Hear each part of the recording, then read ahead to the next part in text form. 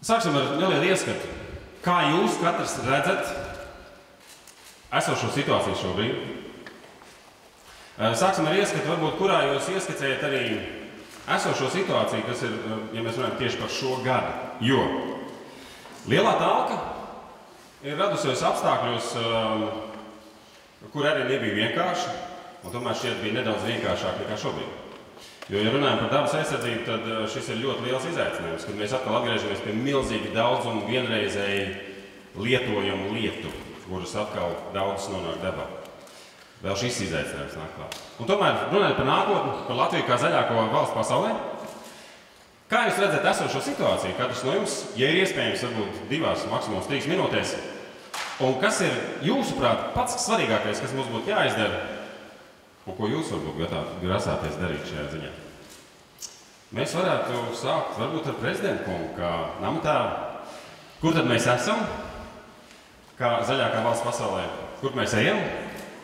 Un kā to izdarīt labāk? Jā, paldies. Un paldies, ka jūs esat visi šeit sapulcējušies. Manuprāt, tas ir, tā ļoti svarīga iniciatīva, eh, kur jūs piedalāties. Un, eh, protams, jūs paši piedalāties, un arī mēs esam piedalījušies. Ja ne? un eh, liela daļa no latviešu tautas piedalās šajā iniciatīvā.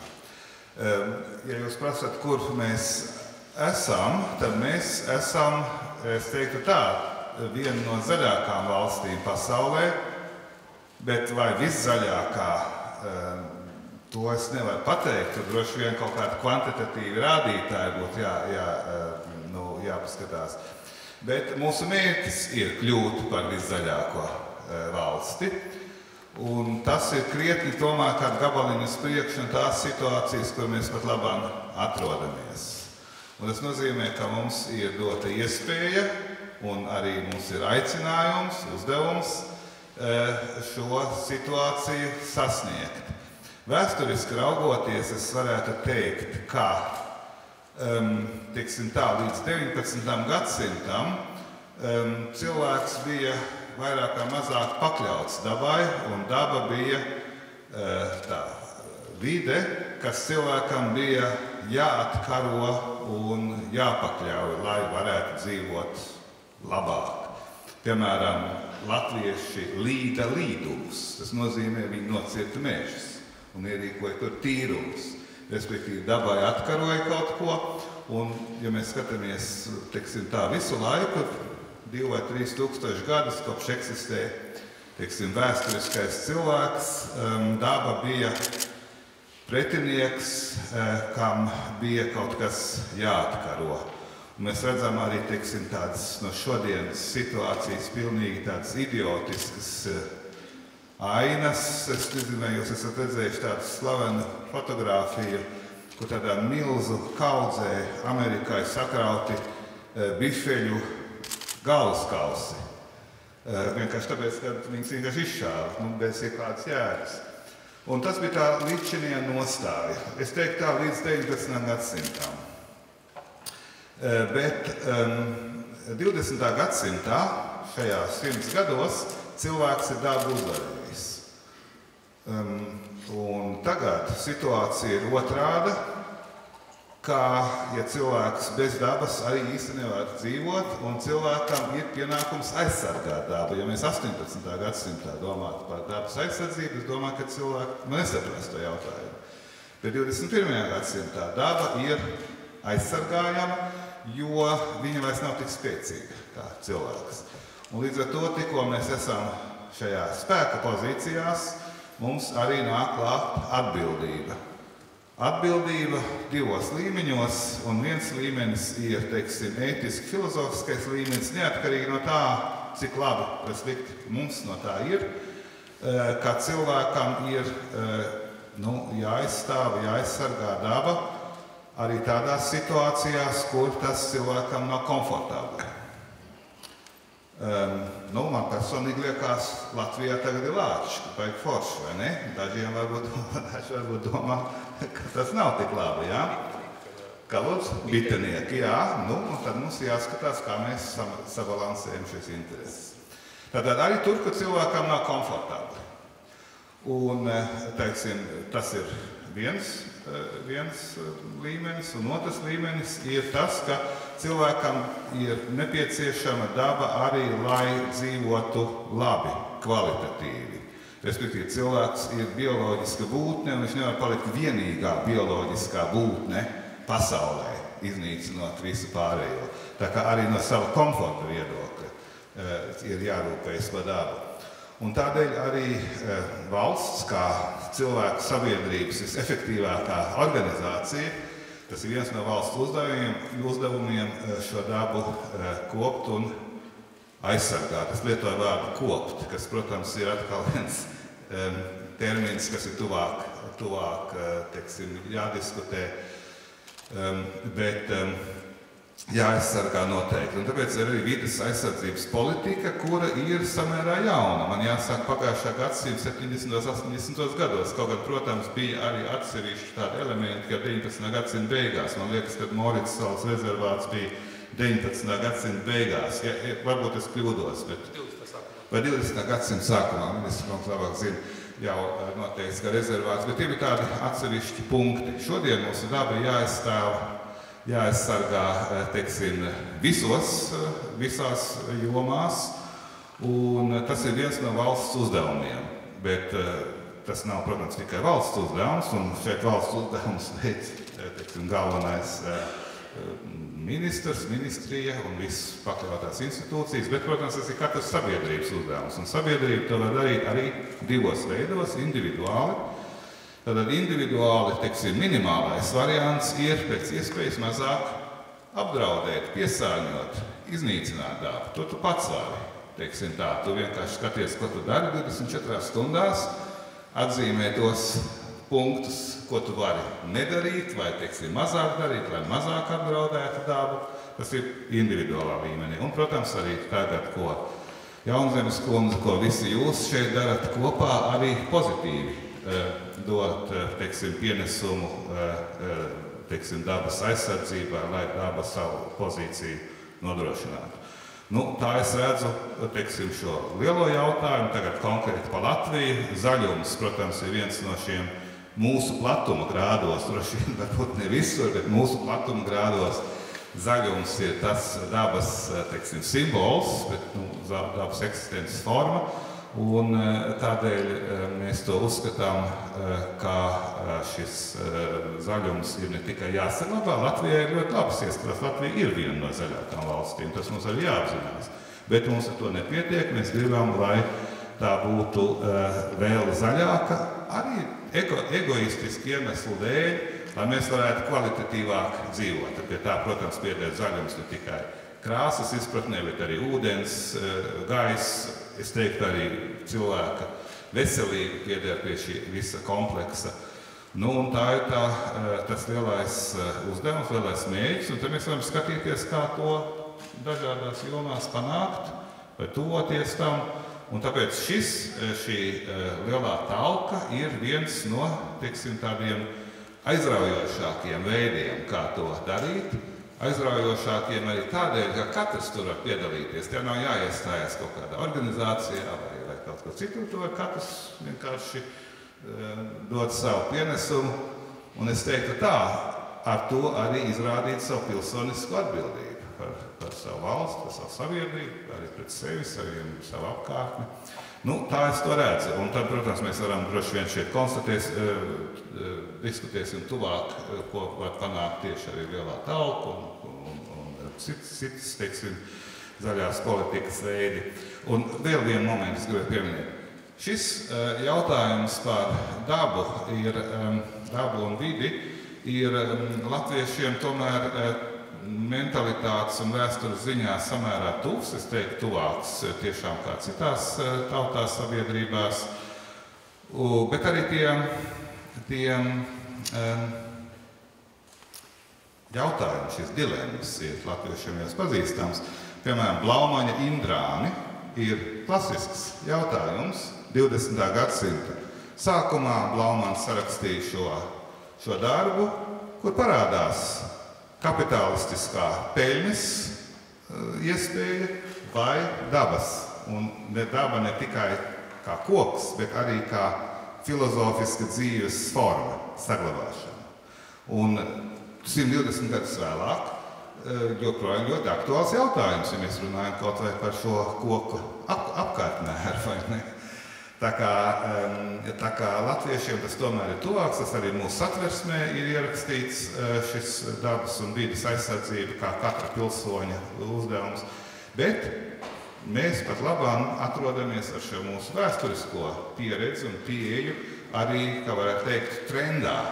Jo arī Eiropas Savienība ar savu Green Deal, kas ir jauna politika, nu, vienmēr ir bijusi dabas aizsardzības politika. Bet Green Deal, kā sakot, pats ir pirmā līmeņa uh, uzdevums Eiropas Savienībai kopumā.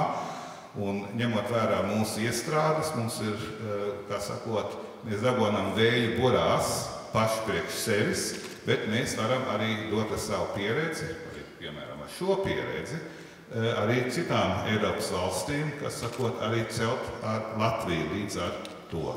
Labi, paldies! Paldies, prezident Kungs! Ministrs kungs, man jums būs um, nedaudz konkrētāki jautājumi. Kas tad ir lielākais izaicinājums šobrīd, kas stāv ceļā Latvijai, lai kļūtu par zaļāko valsts pasaulē? Um, kas šobrīd jau ir procesā, kas notiek, lai mēs tur nonāktu? Kas ir tas, kam vajadzīgs lielākais atbalsts? Runājot par problēmām, protams, varētu vienkārši pateikt naudu, bet šoreiz parunāsim par to, kas ir vēl citi izaicinājumi, vai galvenais izaicinājums uh, ceļā uz to. Un ko mēs katrs varam darīt, piemēram, tā, no ministrijas puses raugoties? Jā, pirmkārt, labdien, labdien, augstgadātais valsts prezidenta kungs, augstgadātie diskusijas dalībnieki un klātesošie. Pirmkārt, paldies par uzaicinājumu, par iespēju šodien būt un ar jums runāt par tēmu, kas aizņem lielu daļu man darba laika un manas enerģijas un domu. Es domāju par šī diskusijas tēmu, kad gatavojos eh, šodienas sarunai, es domāju, eh, mums ir ļoti ambiciozs virsraksts, ja, Latvija zaļākā valsts pasaulē, un, un patiesībā eh, tā ir tēma, es te mēģināšu tagad, mēģ, kad tās sliktās ziņas cilvēkiem jāstāsta, tad ir jāstāsta pie tās sandviča metodas, ja, tad labs, slikts, labs, slikts, un tā, lai mierīgāk var uztvert visu to procesu, ja. Nu, e, mēs, e, mēs patiešām uzskatām kopumā Latvijas sabiedrība, ka Latvija ir zaļa, pas, zaļa valsts. Un es esmu daudzreiz domājis, kāpēc. Jo diezin vai e, mūsu līdz šim lēmumam ir aizveduši kādi dati, nu, ka mēs tur būtu mērījuši un salīdzinājuši industriālo piesārņojumu vai kaut ko tamlīdzīgu. Tā drīzāk ir emocionāla uztvere. Un iespējams viens no faktiem ir tieši šobrīd ārā aiz loga, Latvijā vasarā, kad spīd saule, eh, vadošā krāsa ir zaļa. Atšķirībā no Itālijas, kur bez saules zeltaina un pamatā ir nu, tāds brūns un pelēks, tad mums ir uh, zaļš, izteikti zaļš tonis kā pamats. Mums liekas, ka tik daudz zaļuma apkārt. Tad mēs esam zaļi. Mēžs mums ir daudz, kur mums ir pietiekami ļoti daudz arī skujkoku meža, kas visu laiku ir zaļi. Ziema, vasara nav svarīgi, kad, uh, kā eglīte uh, pantiņā Ziemassvētkos visu laiku ir zaļa. Tā ir tāda zaļa sajūta. Otra lieta ir arī mums ir relatīvi daudz viegli pieejami dabas resursi. Mēs varam piekļūt dabas resursiem netraucēti. Cilvēki to bieži dara. Atšķirībā no lielas daļas Eiropas valstu, dabas resursi mums ir tepat blakus. Protams, ir visādi privāti īpašumi ierobežojumi un citi, bet teiksim, kopumā Latvijā tie ir ļoti mazi. Pamatā viņi ir ļoti daudz, tā skaitā mums ir daudz aizsargājumu teritoriju. Ko nozīmē daudz diskutabls jautājums. Mēs ar to strīdamies ar Eiropas komisiju. Kāds astoņus gadus, vai mums ir daudz vai maz. Tad ir normāls diskusijas. Visas valsts strīdās, mēs neesam vienīgie. Bet mēs esam arī viņus pilnveidojuši, mums ir labs regulējums, ko vajadzētu darīt vairāk un mazāk katrā vietā. Arī tur mēs iekšēji strīdamies, un Eiropas komisija strīdamies, kā to labāk izdarīt. Bet mēs arī apzināmies un ilgstoši apzināmies, ka mums ir šīs aizsargājumās teritorijas, kurās mēs vēlamies, nu, tur, kur tas ir atļauts, ierasties, redzēt, baudīt arī dabas resursus un, un izjūtam to kā personas, gan arī tāds zaļuma sajūta sevī. No otras puses ir tā, jā, un tur arī daudz objektīvu datu ir, protams, taisnība industriālais piesārņojums Latvijā ir zemes. Eh, es neesmu no tiem cilvēkiem, kas saka, tāpēc, ka Latvijā nav rūpniecības. Latvijā ir rūpniecība, vienkārši mums bija pārāvums rūpniecības attīstībā.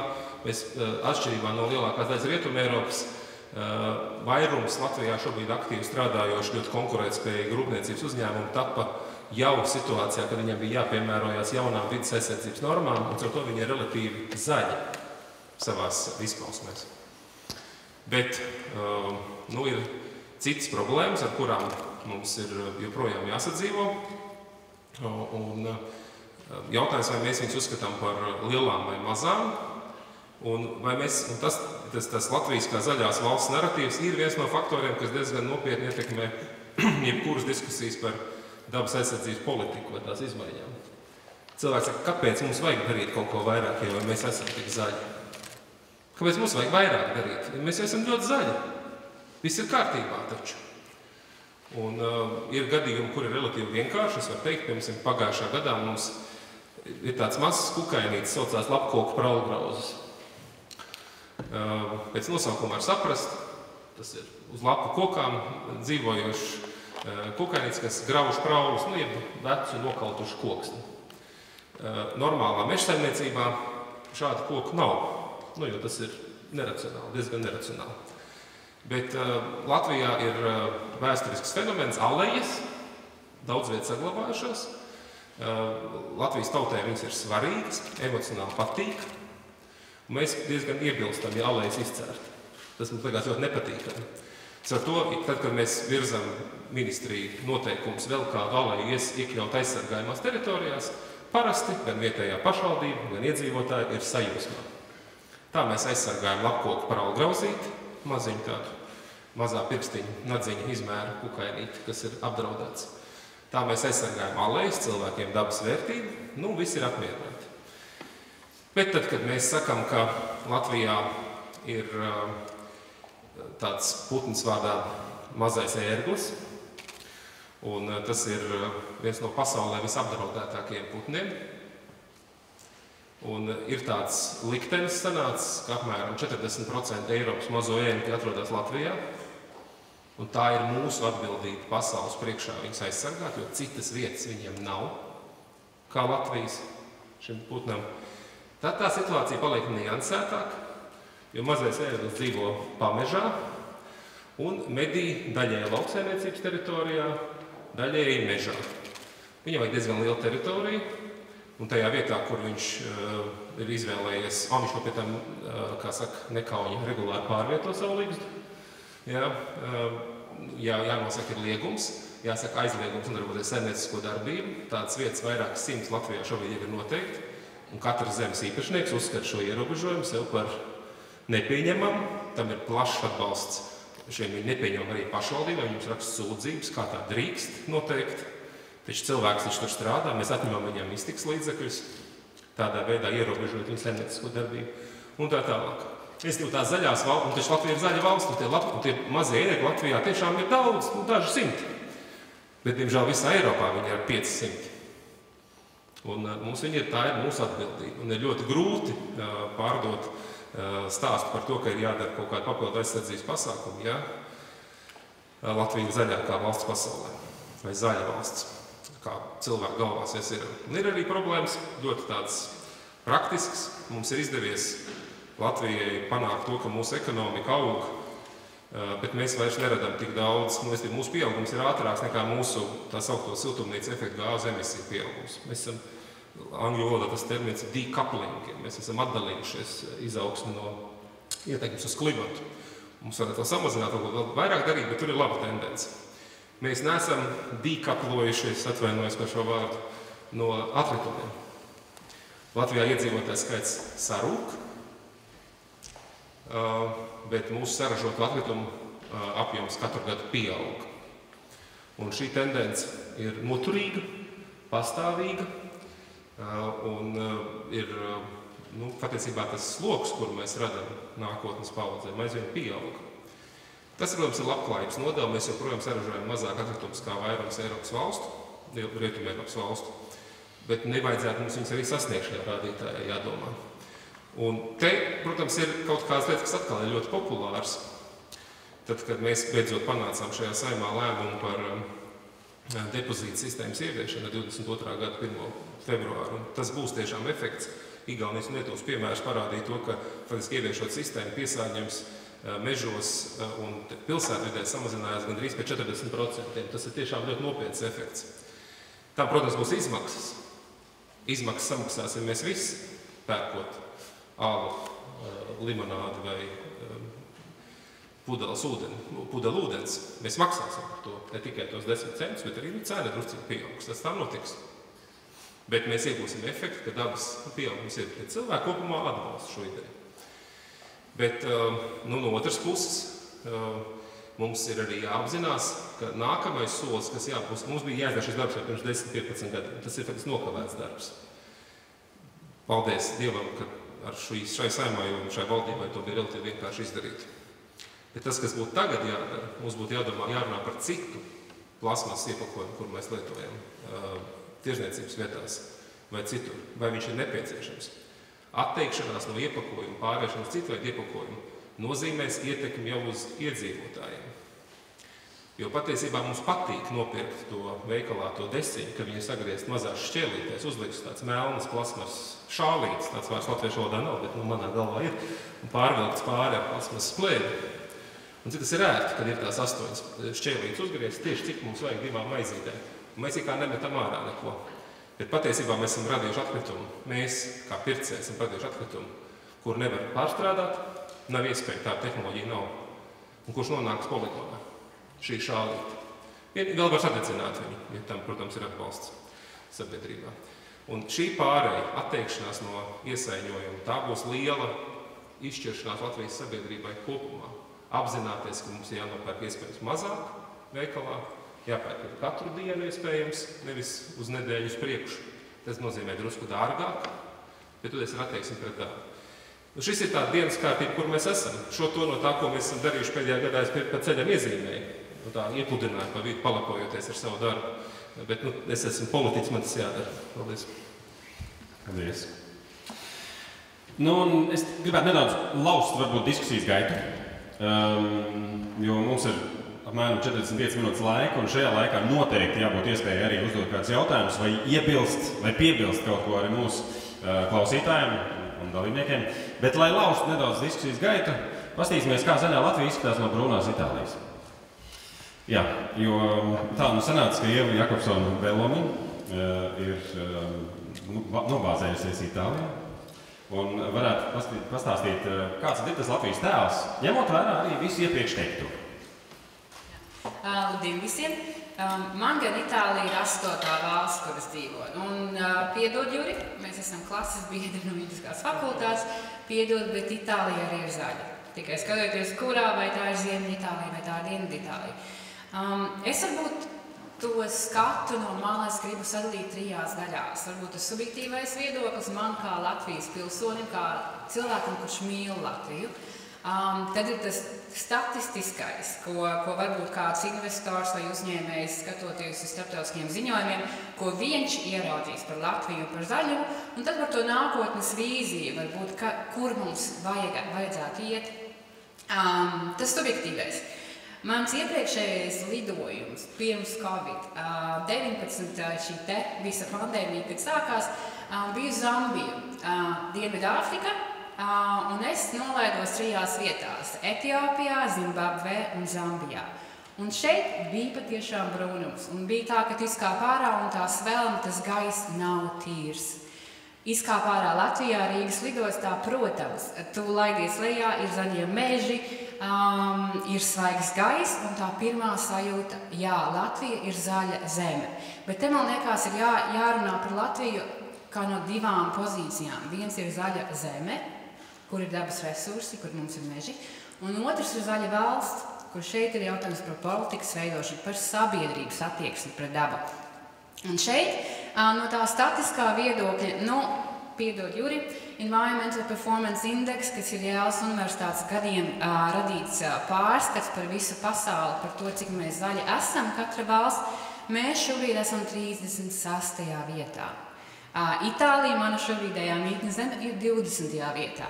Un te es kā piemēram, skats no malas, pārlasot ziņas, kas šeit Latvijā notiek, tīri, tīri tādā vides sakārtotības ziņā, viens no tiem punktiem ir par šķirošanu, atkrituma māj, mājasaimniecības atkrituma šķirošanu. Latvijā šķiro 25%, pārstrādā 25% no atkritumiem. Bioloģiskie atkritumi saprot, ka vēl nav atsevišķi, kā, kā pasaka, mājasaimniecības var salikt atsevišķās tajās kastēs. Itālija Mēs varam teikt, ka Itālija ir uh, belle Itālija, mēs varam teikt, ka Itālija Roma ir piegružota vai ne, bet tajā pašā laikā mans vīrs, kas ir itālis, viņš katru dienu šķiro atkritumus. Mums ir konkrēti laiki, konkrētas dienas, kad savāc stiklu, kad savāc plastiku, kad savāc papīru. Un tā ir Itālija, vai ne? Um, Tālāk, kas vēl tāds skats no malas um, par biotopiem, par, uh, par gaisa piesārņošanu. Uzreiz atkal esot Latvijā ziņa par to, ka mēs neesam izpildījuši Eiropas Savienības direktīvas. Es piekrītu Jurim, jā, ka daudz dalībvalsts ne, ne, nevar izpildīt šīs direktīvas, bet tas atkal dod tādu skatu no malas, jebkuram uzņēmējam, jebkuram iebraucējam šeit domāt par to, vai patiešām šī valsts ir tik zaļa, kā mēs sevi pozicionējam. Un, uh, Tās ir tās lietas, kas iekrīt prātā, tā šķirošana, tas ir environmental performance index, tad uh, visas direktīvas, ko mēs izpildām vai daļēji neizpildām. Um, un tad ir jautājums par to, vai mēs varam pretendēt vai pozicionēt sevi kā zaļāko valsti. Nu, ja mēs paskatāmies piemēram uz Dāniju vai Kopenhāgenu kā vienu no gudrajām pilsētām, uh, Kopenhāgena ir nolēmusi, ka 2025. gadā viņa būs CO2 neitrāla, gudra pilsēta. Dānija kā tāda, kā valsts ir paziņojusi, ka 2030. gadā 50% no enerģētikas avotiem būs saule un vējš. Kāda ir mūsu nostāja šajā jautājumā? Um, tas man liekas, arī te mēs ejam atpakaļ pie Latvijas tēla jautājuma, kur Aiva pilnībā izņēma no manas mutes vārdus par to, ka jā, mēs esam zaļa zeme, vai mums ir potenciāls būt politiski institucionāli, arī tīri no dokumentiem, valsts dokumentiem, platformas, um, spējām būt zaļākajai valstī, zaļākajai zemē. Es domāju, ka mēs nevaram konkurēt ne ar Dāniju, ne ar, piemēram, Singapūru, kas arī ir viens no tādiem stultākajiem piemēriem, jo Lai tu varētu uzlikt kaut kādas konkrētas prasības maziem uzņēmējiem Latvijā, kas ir jāizpild tīri ekoloģiskajā jomā, Tiem uzņēmējiem ir jābūt spējīgiem izpildīt arī finansiāli, pavilkt vienkārši. Ja mēs skatāmies, piemēram, Dāniju, um, Singapūru, viņu IKP uz vienu cilvēku ir ap 60 tūkstoši dolāri. Latvija tas ir ap 17 tūkstoši dolāri. Vai tam mazajam uzņēmējam, kuram tāpatām nav tā iespēja atspērties, tagad vēl uzlikt vēl kaut kādas prasības par mazo ērgļu aizsardzību, nu, manuprāt, būs ļoti grūti viņus pārliecināt. Tāpēc man liekas, ka mums ir jāskatās kaut kādā tādā Latvijas tēla veidošanā um, saistībā ar kreativitāti, ar radošumu, ar inovācijām. Piemēram, mūsu Rīgas Tehniskā universitāte vai Lauksaimniecības universitāte sadarbojās ar uzņēmējiem, ar Latvijas ražotājiem par to, kā pārvērst vai, vai kā, kādā veidā ieviest green technologies, piemēram, šajā ražošanas procesā. Um, vēl kāda lieta, kur um, runāja arī par veselību, tas man liekas ir ļoti būtisks jautājums - veselība, izglītība. Um, nezinu, cik daudz Latvijas skolās māca par uh, cilvēka uzbūvi vai par cilvēku ietekmi uz vidi vai vides ietekmi uz cilvēku. Uh, bet mans bērns, viņam ir 6,5 gadi, viņš iet Itālijas bērnu dārzā un viņam to māca. Viņam māca rūpēties par dabu, māca šķirot atkritumus. Tas ir arī viena no tām lietām, kur mums liekas, ir jādomā, jāveido domāšana jau no mazotnes par to, ka mēs esam daļa no dabas, ka daba ir daļa no mums un ka mums ir jāsadzīvo kopā ar dabu. Um, kas vēl pēdējā, pēdējā piebilde par uh, skatu no malas, manuprāt, ir tā, ka mums latviešiem ir jālepojas ar Latviju. Mēs, kad mēs ejam ārā kaut kur, mēs aizbraucam uz Romu, mēs aizbraucam uz Ameriku, mēs runājam par Latviju, un ja kāds kaut ko paprasa, tad mēs parasti sakām, nu jā, Latvija ir zaļa, Latvija ir Eiropas Savienības dalībvalsts un tam līdzīgi. Bet tas nav tas lepnums, ar ko mums jāiet un jārunā par Latviju. Ja mēs skatāmies, un man ir ļoti daudz amerikāņu studenti, amerikāņu studentam pateikt kaut ko negatīvu, kritisku par Amerikas Savienotajām valstīm, nu, uzreiz būs puras gaisā. Mēs, latvieši, mēs, ja, ja pateiks, nu, Latvija nav tik tīra, vai ne, jūs tikai pāršķirojat 25% no mājasemniecības atkritumiem, mēs teiksim, jā, jā, jā, tā tas ir. Bet varbūt mums vajag būt lepnākiem un teikt, ka jā, mums ir lielā talka. Ne? Mēs sanākam kopā, un šeit man patīk, kā Aivas teikties, ka tā ir kopiena, ka mēs sanākam kopā kā kopiena un rūpējamies par mūsu dabu. Un tas man liekas, ir tik efektīvi un tas ir tik unikāli, ka man liekas, nekur citur pasaulē tādas lietas nav. Mēs ļoti ātri pierodam pie tā, kas, kas mums ir labs. Mums pašiem tas ātri vien nešķiet vairs nekas īpašs, jo runājot par tiem pašiem amerikāņiem, var vienkārši pabrīnīties, ar ko viņi tur lepojas. Um, ja tu esi pavījis tur tajās vietās, no kurienes viņi nāk un ar kurām viņi ir lepni, uh, salīdzinot ar Latviju, tiešām tur ir ko pamācīties. Es gribētu tagad pajautāt, vai dot iespēju, pirms mēs turpinām ar mūsu diskusijas dalībniekiem, arī eh, jums, šeit re, kur ir viens mikrofons, tur tajā galā ir otrs mikrofons. Ja jums ir no iepriekš dzirdētā kāds komentārs vai jautājums šeit klātesošajiem, pirms mēs turpinām ar mūsu diskusiju dalībniekiem, lūdzu droši varat izmantot mikrofonu, vienkārši jāpasaka, kas jūs esat un kas tad ir jūsu jautājums vai piebilde. Ja tādu iespēju varat izmantot, rekur viens, divi un trīs mikrofoni. Vai kāds? Labi, tad turpināsim. Par Latvijas zaļumu skaitļos.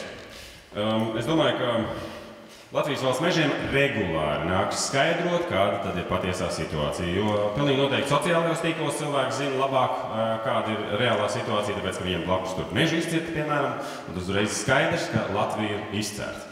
Uh, Latvijas valsts meža regulāri nodarbojas gan ar stādīšanu, gan ar uh, informācijas kampaņām, gan ar naudas pelnīšanu, būsim reāli. Ja? Eh, kā tad īsti ir ar to Latvijas zaļumu, status quo, ko vadīs un kā mēs tur nonāksim? Jā, labdien! Jā, Latvija ir zaļa, bet tas nenozīmē, ka mēs varam ieslīgt tādā pašlepnumā un neko nedarīt lietas labā. Tīri vēsturiski, paskatoties simts gadus atpakaļ, un tie fakti, meža platība ir pieaugusi. pieaugusi izbraukājis esmu gandrīz visu Latviju. Ceru, ka kādreiz izbraukāšu arī pilnīgi visu, bet es līdz šim neesmu nonācis Latvijā nevienā vietā, kur apkārt, apgriežot, apgriežoties ap savu asi, es neredzētu mežu pamalē. Lielākoties jau viņi ir vairāk vai mazāk lielāko daļu no horizonta arī aizsits. Un attiecībā uz meža nozari, manuprāt, tas ceļš, kā mēs esam gājuši, viņš ir bijis ļoti pareizs. Un arī nākotnē skatoties, mūsu politika jau nosaka to, ka mums ir ilgspējīga meža apsaimniekošana, un šī nozara ir ilgspējīga. Un skatoties uz mežiem, mēs tiešām varam teikt, ka mēs esam zaļi, un ļoti lepni to teikt. Bet ir, protams, arī nianses, un ir lietas, pie kā strādājam, un arī turpināsim strādāt. Kā piemēram, man pašam diezgan regulāri sanāk sadarboties ar skolām, ar bērniem, iet mežā, stāstīt, mācīt. Mūsu uzņēmums strādā pie dažādām vecuma grupām, sākot no bērnu dārziem, kur ļoti populārs tēls ir mūsu vietējais mens, cūkmens, supermena un betmena brālis. Un, ta, tas ir tas veids, kā mēs cenšamies stāstīt jau no mazotnes, ko darīt drīkst mežā, ko nedrīkst un cik slikti ir teiksim, tā, piemēslot mežu un kādas sekas tam varētu būt. Tāpat mēs strādājam ar skolām. Rudens mums ir šobrīd sesto klašu skolēniem meža ekspedīciju laiks. Un jāatzīst, arī ir atsevišķi pasākumi, kādā veidā mēs strādājam arī ar vecākajām klasēm. Un tā pievienotā vērtība ir ļoti būtiska. Gadu no gada ar skolēniem, dažādām skolām satiekoties mežos, es jūtu, ka tā attieksme par to nomesto konfliktu papīrīti ar katru gadu uzlabojas. Un tā ir tā nākotne, kas, manuprāt, mums palīdzēs kļūt aizvien zaļākiem arī attiecībā uz atkritumu jautājumiem. Jo statistika atkal ir nepielūdzama. Jāatzīst, ja mēs paskatāmies piecu gadu griezumā uz Latvijas valsts mežiem no savākto atkritumu apjoma, tad, diemžēl, šis apjoms ir diezgan būtiski audzis. Es pat varētu teikt, dubultojies, ko mēs ik gadu esam savākuši mežā. Un šī tendence uh, turpinās, bet uh, šis noteikti ir sadarbības jautājums. Šis noteikti ir atkrituma apsaimniekošanas politikas jautājums. Un, un, un, un ir jāmeklē šīs iespējas droši vien labāk sadarboties un atrast šīs iespējas identificēt, kāpēc radās tik daudz atkritumu mežā. Un, un, un, manuprāt, pozitīvā tendence ir tā, ka šīs jaunās paaudzes vairs nav tās, kuras uh, nomest pu pudeli, uh, šādi atsevišķi atkritumi, bet uh, palielinās tieši plānveidā izvesti atkritumu maisiņš atstāts vai pat lielāki ar automašīnām atvesti atkritumu gružu kaudzes, uh, kas šajā jomā noteikti mums vēl ļoti tālu un daudz kur augt. Būsim reāli. Daudz cilvēku atceras vecos labos laikus, kad uh, tu varēji izmest atkritumus, ja nu viņi tev bija. Bija diezgan maz, viens spaiņas nedēļā, es atceros. Tad tur viss sakrājās, un tad aizgāja vienreiz nedēļā izmetni izkastē. Uh, jo tu gāji uz veikalu ar burciņu, uh, neskaitāmas reizes, ar vienu to pašu audumu maisiņu, izmazgāja, izkratīja drupačus ārā un atkal gāja uz veikalu. Um, šobrīd cilvēkiem ir tāda sajūta, ka atkritumu pārstrāde, atkritumu kā, izmešana, tam, tam ir jābūt bezmaksas pasākumam. Kāpēc man jāmaksā par to, ka es iznesu atkritumus? Un vēl jāšķiro, kas jūs galīgi esat, man darīt nav ko. Ir milzīga atšķirība tieši uzskatos starp ārzemniekiem, kuriem tas liekas normāli, un Latvijas iedzīvotājiem, kuriem tas liekas nenormāli joprojām. Ir īpaši, ja vēl viņam speciāli jāslēdz līgums par atkritumu izvešanu, kaut arī viņš dzīvo vasarnīcā, gal galā viņam ir bedre vai ugunskurs priekš kam. Kā šo pamainīt, kā šo attieksmi pamainīt? Vai kādam ir, nu es nezinu, kāds stāsts, kurā varētu pasmelties, kā pamainīt attieksmi, lai cilvēks saprot, ka atkrituma apsaimniekošana ir, ir dārgs prieks, kurā viņam ir arī jāpiedalās galu galā. Vai kādam ir atbildi šo jautājumu? Starp citu, es gribēju jautāt, vai šeit ir Tordengere kungs? Jā. Jā. Sveicināti! Hannes, Hannes Topdengen ir Zviedrijas vēstniecības otrais sekretārs, pareizi? Zviedrija ir diezgan attīstīta arī šajos dabas aizsardzības jautājumos. Diezgan liels, labs paraugs arī runājot par inovācijām.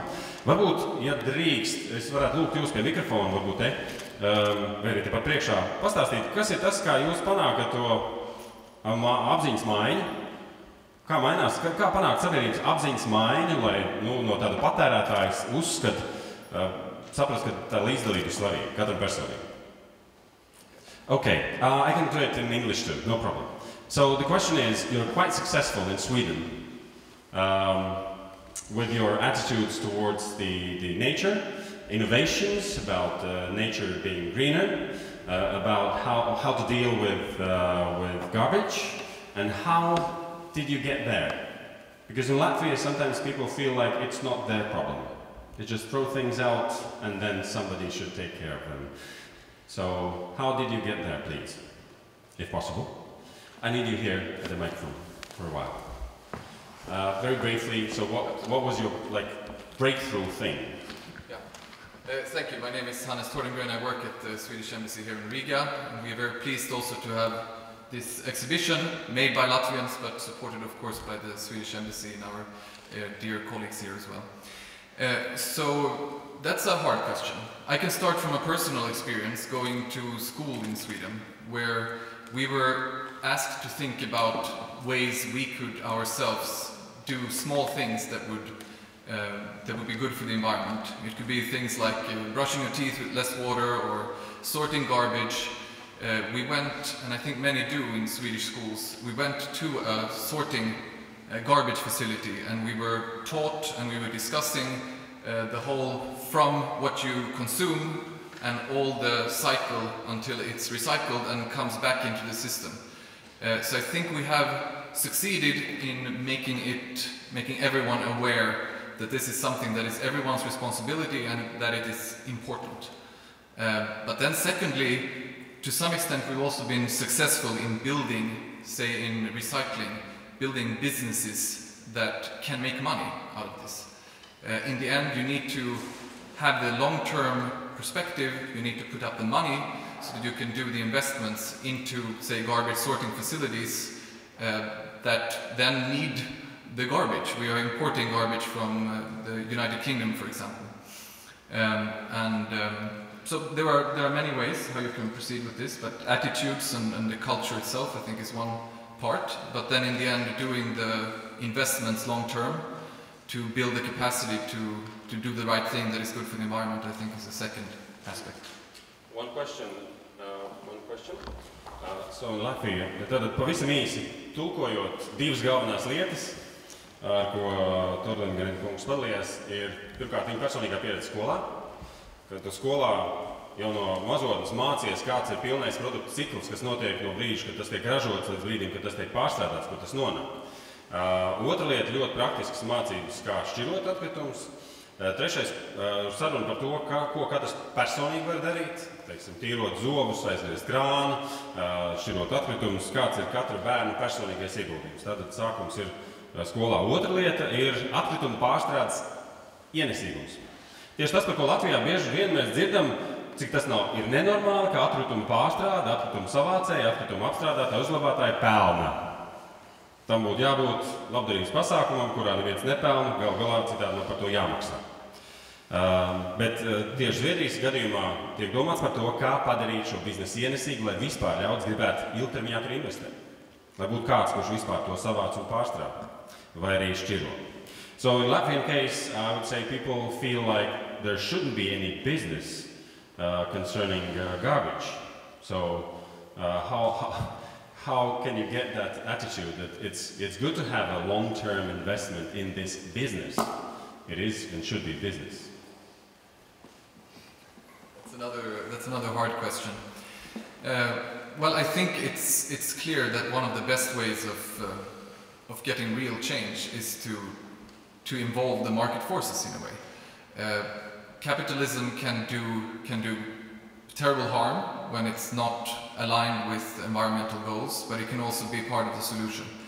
Uh, and in this case, when you have a government that builds, when you build a new part of a city, uh, in uh, outside of Stockholm, there is a Hammarby Sjöstad area of Stockholm that is built with an integrated garbage collection system where the garbage falls down uh, through a system driven by air and pressure and then is pushed all the way to centralized stations so that you only have one garbage car that goes in and collects all the garbage in one place. So you can minimize the transports involved in garbage and also get rid of it so it's not and it cannot get on the streets no rats and so on.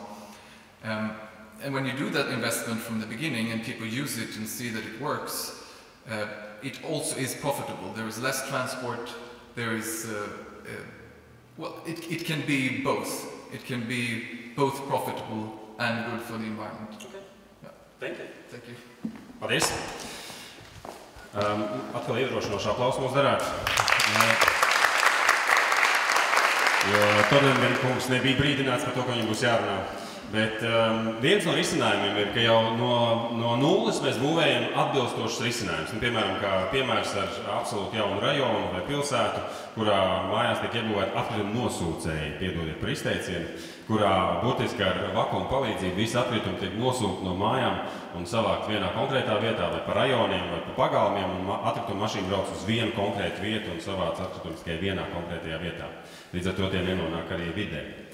Uh, Vai ir vēl kāds, kurš vēlas uh, piebilst, pirms mēs uh, turpinām mūsu sarunu? Jā, droši vien. Jā, es vēl uh, Zviedrijas pieredze, protams, ka ir ļoti, ļoti fantastiski arī tas, ka varbūt es maldos, bet tas, ko esmu lasījis, kad um, li- lidostā, piemēram, ir elektriskie taksometri un viņiem tiek dota priekšroka, lai viņi varētu uzņemt pasažierus. Piemēram, tas arī tā, kā, tā motivācija. Varbūt izvēlēties to elektrisko tā taksīti. Uh, vēl tāda lieta, man liekas, kas, bet es varu maldīties. Man ir tāds sajūta, ka mums Latvijā tā motivācija kaut ko darīt sabiedrības. Sabiedrības motivācija ir tāda, nu, ir carrot and stick, mums ir tikai tas stick, nu, kad ir, ja tu nedarīsi tā, tev būs jāmaksā par to. Bet atkal skatoties no otras puses, varbūt ir tas, ka, ja tu izdari kaut ko, varbūt, tev nāk kaut kāds bonusiņš klāt. Piemēram, Itālijā. Um, pudeļu savākšana, plasmasas pudeles vai stikla pudeļu savākšana. Tu pieeji pie automāta un tev ir tā identifikācijas karte, kur tu lieto nododot pudeles. Un tev attiecīgi nāk no pašvaldības nodokļu atvieglojumi, kaut kāds procentiņš nost, vai ne? Vai, piemēram, restorāni ļoti daudzās vietās Itālijā izmanto stikla pudeles otrreizēji. Viņi savāc, pēc tam aiznes atpakaļ uz uh, līdz, piemēram, ūdens ražošanas kompānija, un attiecīgi tā kompānija piepilda ūdeni, un atkal viņu var izmantot. Man liekas, tā otrreizējā izmantošana, tas ir aprites ekonomikas pamats. Um, un tas, tā ir viena no tām pasaules tendencēm, kur, manuprāt, Latvija ar radošumu, ar inovācijām, ka mēs varam pārdomāt par to, kā mēs tajā aprits ekonomikā varam vairāk izmantot vai otrais izmantot lietas. Vai, piemēram, upcycling, kur uh, tos atkritumus izmanto jaunu produktu ražošanā. Es gribēju jautāt, pirms uh, Pūlis kungs, pirms jūs uh, minat, kā, vai Kaminska kungs ir? Kaminska kungs? Latvijas pašvaldības savienība? Mhm. Nu tad Pūlis kungs. lūdzu. Es, es varbūt patiesībā īsi eh, no, no piemēra viedokļa par to, kas būtu jādara vai jā- jādara. Un, un jūs vēl minējāt eh, atkritumu šķirošanu. Mums ir daudz vietas jomā vidas aizsardzībā, kur mums patiesībā par vidas apziņu datu pietrūks. Mēs patiesībā nezinām, ko cilvēki uzskata un domā, un nepietiekam mēram to. Un Tas ir jautājums, pie kuras arī strādāju, lai tā būtu. Bet ir viena joma, kur mums patiesībā diezgan labi zinām, ko cilvēki domā un dara. un Tā ir atkrituma šķirošana, jo tur ir uzticēts ražotāju atbildības sistēmām. Ir tāda uzņēmuma, ir uzlikts pienākums regulāri to mērīt un publiskot šos datus. un Lielākie atkritumi šie uzņēmumi arī to dara. Un viņi to dara jau faktiski vairāk kā desmit gadus, ar to mēs arī varam ilgtermiņā, nu jau desmit gadus sekot līdzi, kā sabiedrības apziņa mainās. Un es te kaut kas labs ir jāpasaka. Patiesībā pretēji tam, ko jūs vēl sakat, kopumā sabiedrības izglītotība ir ievērojami kāpusi. Ievērojami kāpusi un attieksme ir daudz labāka, vēlme piedalīties ir lielāka. To aizvien mazāk saredz kā apgrūtinājumu. Mēs esam, protams, arī stimulējuši to ar nodokļu politikas palīdzību, jo tu nodod nešķirotas un šķirotas ir dažādas likmes un tā, kas ļoti palīdz uh, izdarīt izvēles. Uh, bet uh, ir dažas problēmas, un pie tā mums ir jāapzinās. Un es skatos uz daudzām auditorijām, kur par vidas jautājumu runājam, un arī drusku to saprotu. Pirms desmit gadiem, ja pastāstīs demogrāfiskā sadalījumā, kas ir grupa, iedzīvotāja grupa, kas ir visinformētākā par atkritumu šķirošanu, vislabprātāk to piemēro, visaugstāko vidas apziņu. Nu, kā jums šķiet, kura grupa tā ir? Sievietes vecumā virs 50 gadiem. Virs kurā virzienā? 50 gadiem uz uh, uh, augšu skaitā ziņā. Vecāks par 50. Uh, sievietes savukārt visneinformētākā grupa, uh, vīrieši jaunāki par 30. Ir pagājuši desmit gadi. Grupa, kas ir visvairāk informētā, labāk apziņa, ir kura grupa? Sievietes vecumā virs 50 gadiem. Grupa, kas ir vismazāk informēta un vismazāk iesaistīta, vīrieši vecumā līdz 30 gadiem. Kur bija pirms desmit gadiem vīrieši vecumā virs 30 gadiem? Līdz 30 gadiem. Liela daļa no viņiem skolas solā. Un mēs neesam formāli izglītībā trāpījuši. Vīriešiem, sievietēm mēs trāpām. Pie tiem mums viss strādā. Sievietes zina, aizvien izglītotākas, gudrākas, vispār jau sievietes, kā zinām, Latvijas pamats. Un ar vīriešiem netrāpam, nezina neko, nav izglītota, nu labi, nav atkal. Arī viņu relatīvā zināšanas ir pieaugušas, bet viņu grupa joprojām ir daudz mazāk informēta. Tas ir jautājums, kas te skatās kā daudz citas tēmas. Tā skaitā viens no atbildēm iespējams arī tāda, kas mājās nodarbojas ar atkritumu šķirošanu. Mm -hmm. Un tas ir jautājums par uh, dzimumu lomām, kas nav šodienas tēma. Pa- Paldies, Mēnesis kungs.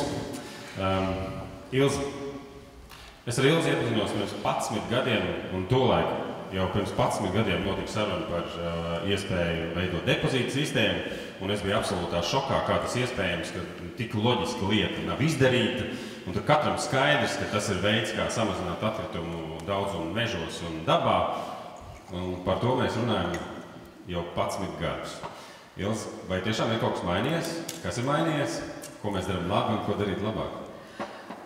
Labdien, un paldies, Vald, ka tu toreiz nāci un brīvprātīgi piedalījies, jo ā, es ā, šajā diskusijā gribu teikt, ka vēl bez vis tā, ka mēs esam zaļa valsts, mēs esam brīnišķīga valsts tādā ziņā, ka es kā Latvijas pilsonis 2005. gadā aicināju ministrus un teicu, ko nu mēs tagad darām, jo Latvijā tikai 25% pašvaldību ir atkrituma apsaimniekošanas noteikumi. Un toreiz bija ļoti maz, daudz mazu pašvaldību, un mm, viņam nebija līdzekļu izstrādāt šos te noteikumus, jo jurista atalgojums bija pietiekami liels. Un tad bija tāda brīnišķīga diskusija, kurā piedalījās uh, vidas un re, uh, ministrs un reģionālās attīstības ministrs, kas bija divi dažādi tieslietu ministru un pašvaldības savienības. Uh, un mēs nolēmām, ka ir jāizveido šādi atkritumu noteikumi, un pašvaldības savienība šos notikumus rakstīja, un reģionālā ministrija viņus atbalstīja finansiāli. Un trīs gadu laikā jau bija gandrīz 90% pašvaldībās, kuros bija atkrituma apsaimniekošanas. Tā kā faktiski tas, pro, projekt, tas progress ir neiedomājams, jo pirms 15 gadiem tikai 20%, 25% pašvaldību bija šādi noteikumi.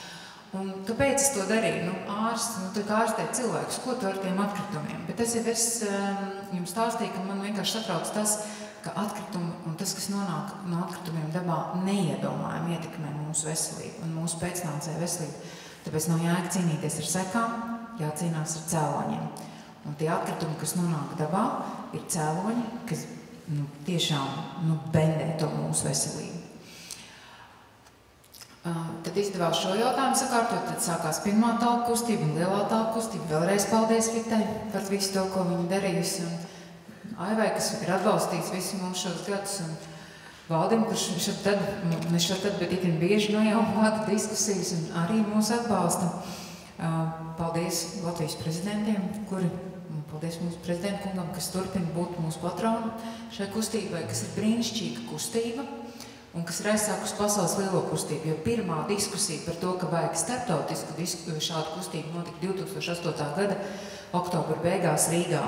Un tad Igaunija šo mūsu ideju turpināja, un Latvija ir kā piemērs visai pasaulē, kā šīs talkas jāorganizē. Bet par depozītiem, kāpēc tik ilgi? Es domāju, ka tas arī ļoti ietekmē tā milzīgā krīze, kas bija, jo par depozītiem mēs sākām diskutēt 2006. gadā. Mums bija trīs gadu garumā diskusijas katru rudeni, kā to depozītu ieviest. Grūti gāja, no sākuma visi tirgotāji bija ļoti pret, bet nu, tagad jaunā valdība viņus kaut kā ir pie, piebūrusi, viņi piekrīt, paldies par to. Bet tad tas grūtākais laiks nāca 2009. gadā, kad mūsu tā diskusija bija par to, ko darīt, lai pašvaldības neiepērk uh, pakalpojumu no, no tām kompānijām, kas piedāvā pakalpojumu, par kuru nevar noglabāt uh, atkritumus poligonā. Bija tāda situācija, ka pēc visas Latvijas likumdošanas ir jā, jāiepērk, tā, nu, jā, jā, jāpērk pakalpojums no kompānijas, kur ir vislētākais piedāvājums, bet ja mēs redzam šo lētāko piedāvājumu, ir skaidrs, ka viņi atkritumus neved uz poligoniem. Viņi viņus ved uz upēm, mežiem vai vēl kaut kur. Un jāsaka atkal, kā vienkāršiem Latvijas iedzīvotājiem, ne politiķiem, sabiedriski aktīviem cilvēkiem mums izdevās mainīt šos te noteikumus. Kāpēc es par to visu runāju? E, es runāju par to, ka mēs neapzināmies to, cik daudz Latvijā var izdarīt vienkārši pilsonis. Var, tikai vajag gribēt. Un es tiešām Gribu aicināt jūs, pirms eh, stundas runājot, teicu, ka domāju par to, lai būtu veseli eh, un mācāmies vairāk par savu veselību, lai mēs saprastu, kas ar mums notiek un kā mēs varam pasargāt sevi un savu ģimeni, savus pēcnācējus, darīt laimīgākus un veselākus. Tad atcerēsimies arī to, ka mums ir brīnišķīga valsts, un mēs, kā vienkārši Latvijas iedzīvotājs, kā Latvijas pilsonis, varam mainīt. Tikai ir jāgrib un jāpiedalās. Paldies! Jums.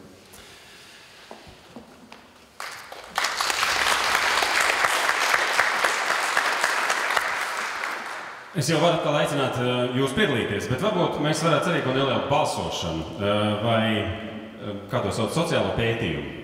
Un jautājums būtu šāds.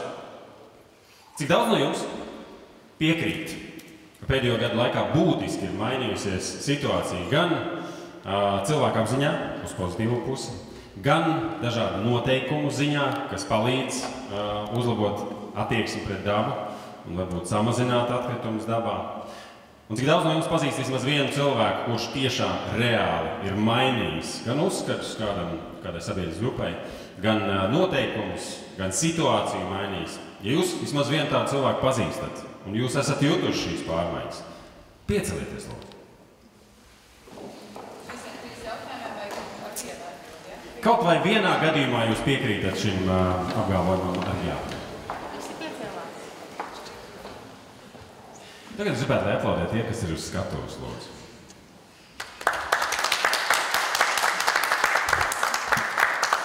Paldies jums! Nu, un mūsu diskusijas noslēgumā. Jūs jau noteikti esat uh, dzirdējuši Vitu neskaitāmas reizes atgādinot, cik daudz var izdarīt. Viņa pati ir pierādījums tam, ka cilvēks, kuram vienkārši nav miera, var panākt ļoti daudz. Ne jau vēl te arī jūs šeit esat cilvēki, kuriem nav miera, kur nekad nav apvienota rezultātu un noteikti zina, kā vajag. Um, pirms mēs noslēdzam diskusiju ar vienu jautājumu, ko jūs darīsiet rīt, lai Latvija būtu zaļākā valsts pasaulē, tas būs tas mazais solis vai darbiņš. Um, Vita? Aha, paldies. Eh, es gribētu šo diskusiju mazliet nobeigt ar mazliet uh, citu griezumu un citu skatu punktu. Uh, es domāju, ka visi piekritīs, ka šobrīd ne tikai Latvija, bet mēs visi, visa cilvēce, visa planēta ir milzīgu pārmaiņu priekšā. Tās pārmaiņas sāka notikt, uh, te netika pieminēts mākslīgais intelekts, līdz ar to daudz lietas par cilvēku kā vērtību, es pieļauju, tur varētu radikāli mainīties. Eh, droši vien tas, ko es kā nevalstiskais sektors, es pārstāvu nevalstisko sektoru, tā mana uh, darbība un tas, tā, tā lieta ir saprast un audzināt un stāstīt un runāt, runāt, runāt, runāt par to, ka cilvēks ir dabas sastāvdaļa. Un Gadsimtiem ilgi cilvēks bijis mēs, cilvēki un daba. Tad daba bija jāiekaro, tad atkal viņa tur bija jāglāb, tad atkal viņa jāiekaro, tagad atkal jāglāb. Un vienmēr tas ir mēs, cilvēce, un tad, tad ir daba. Mums viņa ir vajadzīga, mums viņa, mums viņa vajag. Bet eh, tā, tā dziļākā izpratne par to, ka mēs esam, nu es pieļauju, varbūt seniem indiāņiem, varbūt tur savādāk šī filozofiskā domāšana, varbūt seniem latviešiem arī bija. Es domāju, ka cilvēcei agrāk bija tāda izpratne, bet attīstoties cilvēcei, protams, tas viss mainās. Jo mēs kā cilvēki, cilvēce pieaugam, augam, un tas burbulis aug, aug, aug, aug. Mēs kļūstam ar vien vairāk. Tas, ko mēs piesārņojam, un stāsta, ka mēs piesārņojam skaisti un neskaisti, bet lai ko mēs nedarītu, ar pirmo pamperu mēs kļūstam par planētas piesārņotājiem. Un būsim godīgi, nu beidzam uzskatīt sev, ka mēs esam tur tādi vai šitādi. Mēs visi esam piesārņotāji. Bet tad ir tas stāsts, kā uh, samazināt šo piesārņojumu, lai mēs būtu ilgtspējīgi. Un par to, Kā to darīt? Un ko droši vien ir vairākas versijas, vairākas scenāriji. Tas varētu būt valsts līmenī, tā ir likumdošana, tā ir tā ir nu, daudz kas cits izglītības sistēma. Bet uh, mans mērķis ir vienmēr bijis uh, ielīst cilvēka prātos un apziņās un likt tur notikt šīm izmaiņām. Un kā to var izdarīt to vislabāk, tas ir ielikt. kaut kādā veidā pierunāt cilvēku, ieiet dabā un pateikt, redz, mīļais, te ir tā tava kaka, ko tu esi tur atstājis. Nu, ne tu, bet mēs runājam par cilvēku kā sugu. Un tagad uh, viņai tur nevajag būt. Un tagad izdari tā, ka tu viņu no turienes izņem ārā un noliec tur, kur viņa pagaidām var stāvēt un būt mazliet drošākā vietā. Un, ja mēs runājam par šo Latviju kā zaļākā valsts, te, te nu mazliet es gribētu atgādināt, ka 2009. gadā tas bija sauklis. Tas nav nekad bijis apgalvojums. Tas ir sauklis, un saukli, ko dara sauklis? Sauklis ir patiesībā benzīns. Benzīns mašīnai, tātad mums cilvēkiem, kuri dodas uz mērķi zaļākā. Un zaļākā tas ir ilgspējīgākā. Un es domāju, ka uh, nav stāsts par to, ka Latvija uh, nu, nu, tuvākā vai tālākā nākotnē būtu. Tas sākums bija izaicinājums pasaulē, ka mēs gribam būt Mēs, Latvija, gribam. Un tas tika pasludināts starptautiski, un tam man rakstīja no Kostarikas, nē, jūs nebūsiet, jo mēs gribam būt zaļākie. Un tur sākās ažiotāži, jo tas bija sākumā tādā tajā starptautisko valsts kopienā pasludināts, bet tad mēdī sāk rakstīt un tad to pārņem un pārņem. Un par ko es esmu mm, milzīgi pārsteigta un priecīga, ka cilvēki to ir pieņēmuši jau kā esošu faktu, un ne tikai cilvēki, bet arī ministrijas un visi pārējie, un ka, ka tas jau kļūst par apgalvojumu. Es teikšu tā, tas ir mērķis, tas ir mūsu ceļš, bet ar to saprotot, protams, ne tikai zaļus kokus, ne tikai to, tā ir izpratne, apziņa. Un tad man jāsaka viena lieta, es nobeigšu diskusiju ar ļoti ķecerīgu domu. Es esmu bezgala pateicīga, bezgala pateicīga vīrusam vārdā Covid. Uh, jo mēs esam beidzot uzlikti uz bremzēm, mēs sākam saprast. Un, ja tagad paskatījās tos datus, kuri vēl šur tur tika veikti, kamēr bija tas Covid, lidmašīnas nelidoja, mašīnas nebrauca, uh, cilvēki strādāja attālināti, gaisa piesārņojums bija ļoti labā stāvoklī. Uh, Venecijā ūdens bija tīrs un dzīves beidzot. Un te sākas tas paradoks, paradoks, kad vajag atnākt kaut kādam ārējam ienaidniekam, nu, kur mēs esam uztaisījuši par ienaidnieku, kaut vīrusu jau nu, ir arī dabas sastāvdaļa, lai mēs apstātos, padomātu, un te ir tas stāsts, manuprāt, kas ir ļoti svarīgi, un es ļoti gribētu aicināt visus, visus cilvēkus pašvaldības, uh, saglabājam šo sajūtu, bet ne baiļu sajūtu, bet saglabājam šo sajūtu, ko, ka mēs tā pa vecam, kā bija, vairs nevaram iet uz priekšu. Mums ir ļoti radikāli jādomā, kā mēs mainīsim attieksmi. Varbūt tiešām tās ir pilnīgi jaunas formas, ka mēs strādājam attālināt, jo mēs nepatērējam benzīnu. Gaisa paliek tīrāks. Varbūt tas ir cits veids. Es nezinu, te jānāk zinātniekiem, jānāk kaut kam jaunam. Bet es ļoti gribētu, ka mēs atkal neieslīdam vecajās sliedēs un nesākam kurināt un ekonomiku un vairāk un vairāk. Varbūt padomāt, bet mums varbūt nevajag tās um, 380 kurpes Jo mēs varbūt nemaz neiesim, mums vajag vienas ķēdes un viens izējamās kurpes, un varbūt ar to mums pilnīgi pietiek. Un te man droši vien ekonomiski pateiks, nē, nē, nē, mums jākurina ekonomika, mums vajag ekonomika, ekonomika, naudu. Un, ziniet, un, tad, tad, un tālāk kas?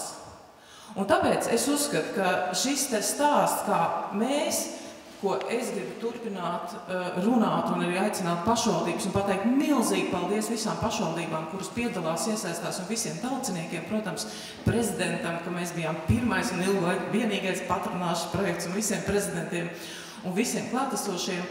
Uh, mums ir jāpadomā nevis kā virzīties atpakaļ vecajās sliedēs, viņas mazliet uzlabojot, bet kā radīt jaunas sliedes un uz kurieni virzīties. Un šī cikliskums, kas ir dabā, mums jāpārņem no dabas, jo mēs esam dabas sastāvdaļa. Nevis mēs un daba. Mēs esam dabas sastāvdaļa. Paldies visiem, kas piedalās, un īpaši visiem tautsaniekiem. Paldies tev!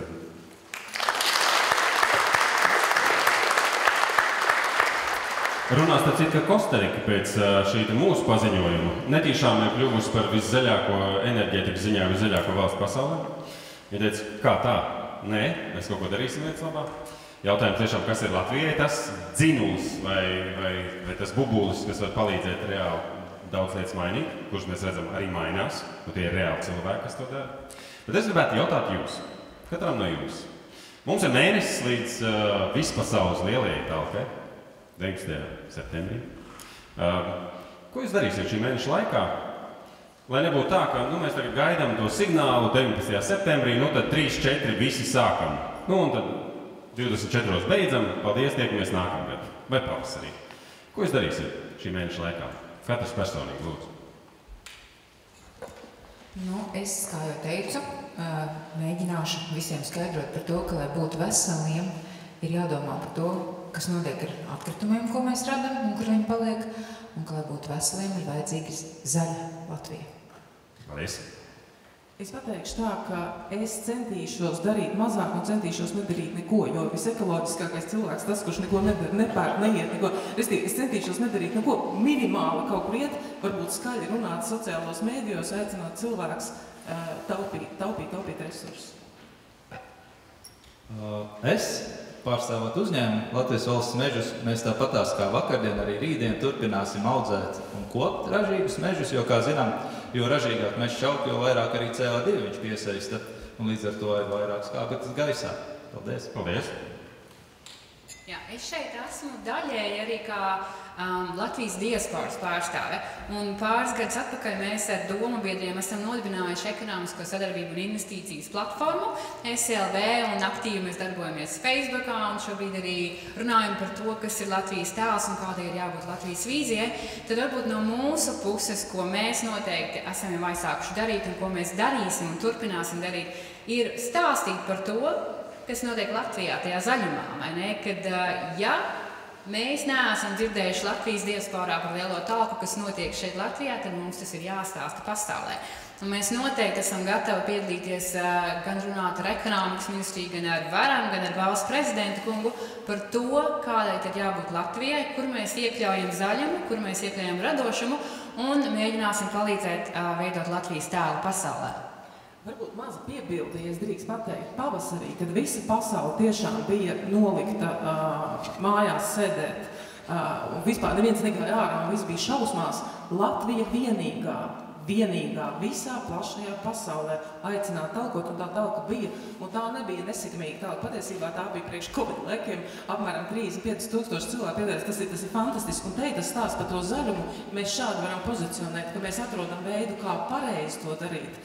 Divi metri, rokas mazgāt, divi metri, un mēs izgājām dabā, un ar to es saprotu, šis Latvijas tēls arī iegūst, un ka tā ir tā, tā, tas, tā mūsu ziņa. Tie solījumi kategorijā par to, ko darīs tuvākā mēnesī, man ik pa laikam eh, nāk atmiņā Orvēlam dzīvnieku fermā bija tāds varonis zirgs boksers, kur eh, Sauklis, ja atceraties, bija strādājuši vēl citīgāk.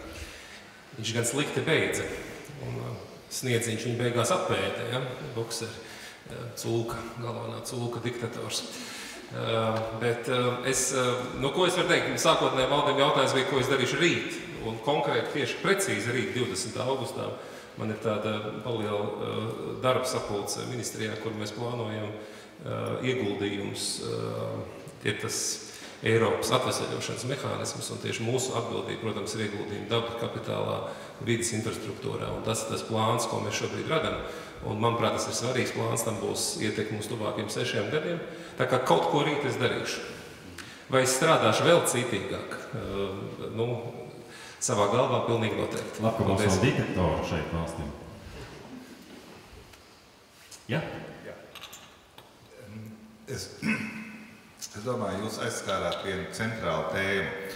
Un proti eh, par to, ka ir eh, šis, eh, šī vērtība daba, un pilnīgi pareizi jūs sakat arī kā cilvēks, kā dabas sastāvdaļa, bet sastāvdaļa, kas līdz ar to arī attiecās pret pārējām daļas sastāv, dabas sastāvdaļām. Un arī tas, kā ekonomika ir it kā pret dabu.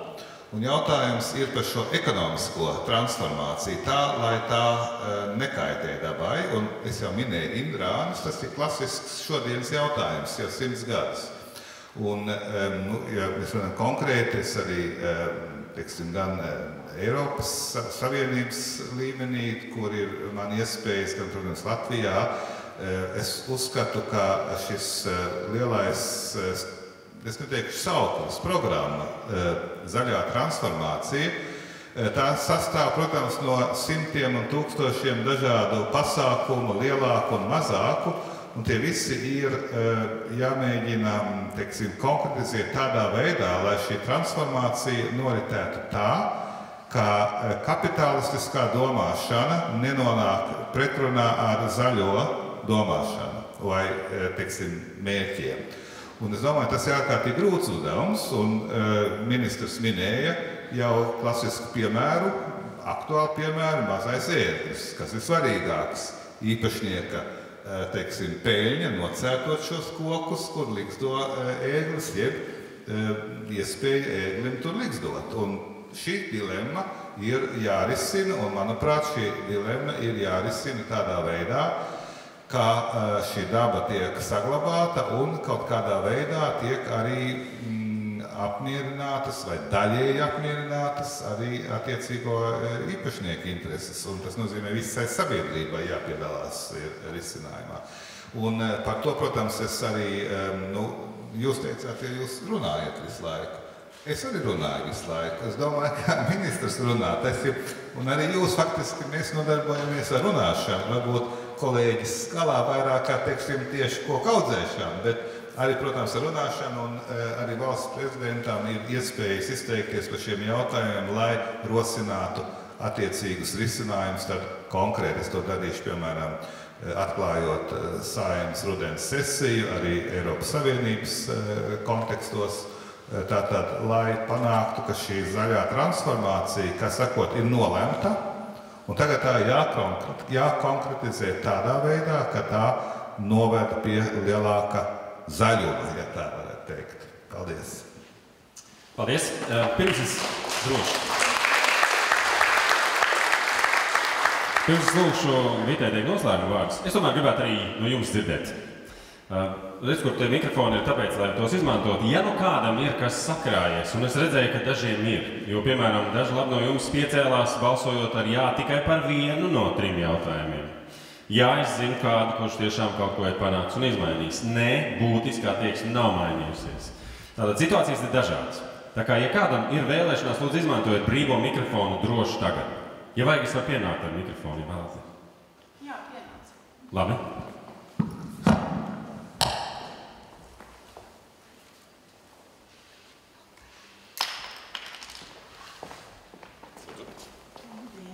Jā, pieskieties. Diana Dīmza Dīme, māksliniece. Un uh, es laikam negribu neko tādu teikt, bet kaut kāds refleksijas man tomēr ir. Um, man liekas, ka uh, jaunā paudze patreiz, uh, kuru es šeit neredzu, tāda ļoti jauna, ja, viņi tomēr domā par savādāku dzīvesveidu. Mēs visi esam nodarbināti ar to, kā kļūt bagātākiem. Mēs gribam kļūt bagātāki, visu kaut ko atļauties. Bet uh, tas, kas saistīts ar to, lai mēs dzīvotu savādāk, ir mūsu domāšana, kādu mēs redzam savu dzīvi, vai tā būs harmoniska, kā mēs gribam dzīvot, vai mēs gribam harmoniski vai bagāti, vai mēs kaut ko atļauties. Tas ir viens. Otrs ir kaut kādi fakti, nu, pēdējo desmit gadu laikā vēža saslimušie ir dubultojušies Latvijā. Um, mēs esam tik zaļi, tāpēc, ka mēs šeit esam maz, ziniet, maz kas piemēslā. Ja mums pāriet tāds turist gars kā Amsterdamai vai Parīzē pāri, mēs te būtu dienas laikā līdz padusēm. Um, un um, uh, es domāju, ka uh, to, kas, to, kas uh, varbūt vieno mūs vairāk, ir kaut kādas mūsu tādas mm, garīgās vērtības, garīgās vērtības, kuras nevajadzētu aizmirst. Ja, ja mēs caurmērā vairāk vai mazāk esam pagāni plus kristieši, ja, tad mēs zinām, ka uh, šī uh, zeme ir mūsu mājvieta. Par mājvietu man nācies domāt visu šo gadu, jo man būs viena izstāde, kas sauksies mājvieta. Un um, mēs ļoti īstermiņā visu domājam, ļoti, ja? Um, arī tie paši meži. Jūs, mēs tā kā, mums liekas, mēs esam ļoti zaļiņi vairāk, bet kāda kvalitāte ir tiem mežiem, cik daudz tika izcirsts vērtīgo koku seno koku tajos 90. ka visi gribēja ātri pārdot kokus un nopirkt lielu lāģi. Un pēdējo, pēdējā laikā es teikšu, ka man liekas, ka viskaitīgākais, kas mums ir mūsu dzīvēs, kas attiecās pilnīgi uz visu, ir vārds paspēt. Un dēļ šī vārda paspēt mēs upurējam visu. Bērnus, vēl visu kaut ko, ja tas vārds paspēt, kas mums liek ātri, ātri nopirkt to desmitajā iepakojumā un tā tālāk. Paldies, lai mums visiem veicās. Paldies. Paldies. Um, ir viena ļoti svarīga lieta arī runājot par vārdu mēs. Um, bieži vien šeit ir ļoti daudz klāt cilvēku, kurus, es domāju, mēs nevaram attiecināt uz jūsu teikto, vai ne? Uz paspēšanu, uz iepakojumu, uz uh, cenšanos kļūt bagātākiem. Uh, citādi to cilvēku droši vien nebūtu. Vai ne? Vai, kāda, uh, vai kāda, kāds komentārs, ko jūs vēl vēlaties, varbūt nu atbildēt, vai piebilst? Un tad lūdzu, Vita. Vai vēl kaut ko kāds grib piebilst? Iebilst? Jā. Nu, ko es domāju, nobeigsim tomēr visu uz tādu pozitīvu noti, tāpēc, ka mēs esam pārmaiņu laikā. Pat ja daudz to vēl tā neapjēdz, mēs esam ārprātīgi pārmaiņu laikā. Un es gribētu šajās pārmaiņās, kas daudziem būs droši vien dramatisks, sāpīgs, nezaudēsim cerību. Lūdzu, nezaudēsim cerību, ka mēs varam. Nezaudēsim mīlestību pret sevi, saviem tuviniekiem, bet mīlestību nevis tāpēc, ka nopirksim vēl piecas televizors. Vienkārši pret sevi, pret savu veselību, pasaudzēsim sevi, mīlēsim šo dabu. Tas nozīmē mīlēsim sevi un ejam dabā. Ejam, lūdzu, dabā, nesēžam mājās, ejam dabā un izdarām kaut ko. Un šis stāsts, ja mēs runājam konkrēti par 19. septembri, kad viss pasaule talkos visa vai ne visa, To es nemāku pateikt, kā kurā valstī kas būs, bet stāsta par to, ka Latvija kultivē šo mīlestību pret dabu. Un mēs visai šai kopienai 180 to stāstam nepārtraukti. Latvija, laimes koki, tas mīlestība, mīlestība, mīlestība, mīlestība, mīlestība pret dabu. Ja viņa būs mūsos, mēs dzīvosim savādāk. Tāpēc, ka mēs, mēs sajutīsim to kā vienu veselumu. Tāpēc iesim dabā, mīlēsim un darīsim kaut ko, lai uzlabotu mūsu kopīgo un personīgo dzīvi. Paldies, Vīt. Paldies Latvijas valsts prezidentam Vigīlam Levitam. Paldies Vīdas aizsardzības reģionālās attīstības ministram Jurim Pūcem. Latvijas valsts meža meža apsaimniekošanas plānošanas vadītājiem Jānim Zitānam. Latvijas ārstbiedrības prezidentē Jozē Aizsolnītē. Um, docentē Ievai Jakobsonai Belomi no Džona Kabaka universitātes. Un lielās paudzes vadītājai Vitai Jānis.